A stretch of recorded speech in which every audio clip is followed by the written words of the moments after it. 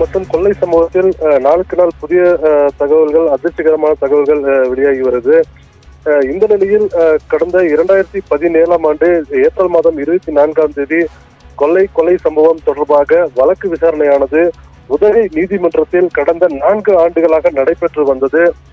இந்த வழக்கு விசாரணை முடியும் தருவாயில் இருந்த நிலையில் கடந்த பதிமூன்றாம் தேதி கடந்த மாதம் பதிமூன்றாம் தேதி காவல்துறை சார்பில் ஒரு புதிய மனு தாக்கல் செய்யப்பட்டது. அதில் காவல்துறை மீண்டும் கூடுதல் விசாரணை தேவை என்ற மனு தாக்கல் செய்யப்பட்டு இந்த கொரநாடு கொலை வழக்கில் ஒரு புத்துயிர் அளிக்கும் வகையில் இந்த மனு தாக்கல் செய்யப்பட்டது. அதன் அடிப்படையில் குற்றவாளி முதல் குற்றவாளியாக கருதப்படும் சயானிடம் காவல்துறையினர் தனியாக விசாரணை நடத்தினர்.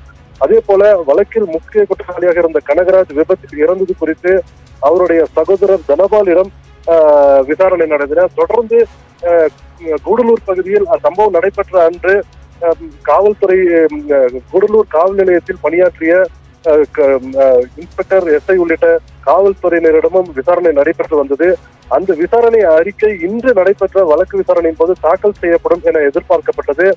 இந்த நிலையில் இன்று அந்த அறிக்கை தாக்கல் செய்யப்படவில்லை.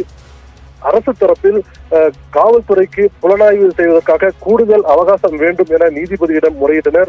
அப்பொழுது நான்கு வார காலம் அவர்களுக்கு அவகாசம் வழங்கி அடு- வருகின்ற அடுத்த மாதம் ஒன்றாம் தேதிக்கு வழக்கு விசாரணையை நீதிபதி சஞ்சய் பாபா ஒத்திவைத்தார். இந்த நிலையில் இந்த வழக்கை புலன் விசாரணை கூடுதல் புலன் விசாரணைக்காக நீலகிரி மாவட்ட கூடுதல் கண்காணிப்பாளர் கிருஷ்ணமூர்த்தி தலைமையில் தனி குழு அமைத்து இந்த விசாரணை தொடரப்படும் என நீலகிரி மாவட்ட காவல்துறை கண்காணிப்பாளர் ஆசிஷ் ராவத் தகவல் தெரிவித்துள்ளார்.